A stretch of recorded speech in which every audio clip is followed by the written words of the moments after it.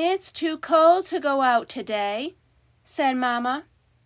Especially with your haircut, said Papa.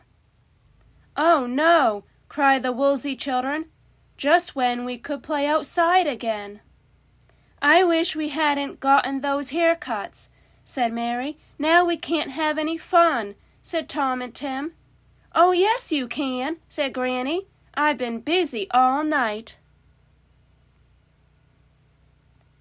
And Mary and Tom and Tim had a grand time outside, wearing their haircuts, which Granny had made into brand new sweaters.